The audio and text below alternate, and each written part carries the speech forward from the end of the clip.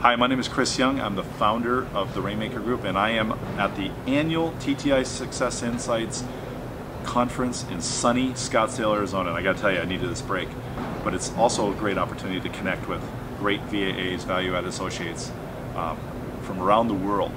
This conference theme this year is R3, and I couldn't agree more. It stands for Reveal, Release, Realize, and that is reveal and release human potential and realize organizational potential. So some things to be thinking about, whether it's your sales team, your management team, whatever the case may be. How do you reveal human potential from an objective scientific basis in terms of just getting rid of all human bias because we're all biased animals.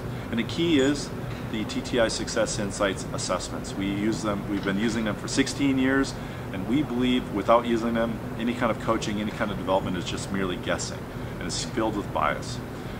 Once we know objectively what that human being has in terms of potential, we can help you release that human potential through coaching, development, targeted training, targeted development. In today's fast-paced world, we're working with smaller teams and we're working in shorter periods of time to get important projects done and then people are moving on to that next opportunity. And the question I have for you is are you engaging? Are you releasing that human potential on an individualized basis as well as on that small team?